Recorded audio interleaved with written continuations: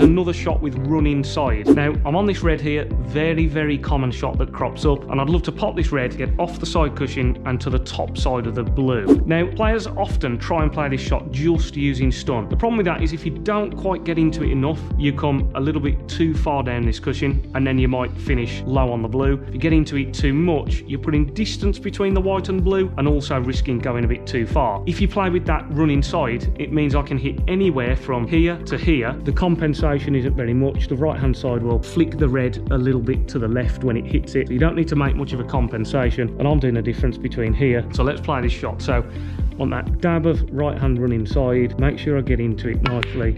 And then when it hits that cushion, you just had a little bit of a flick with that side just to make sure that I've got that nice window for hitting anywhere on that side cushion and the side will flick me up the correct side of the blue. I can pop that and continue the break.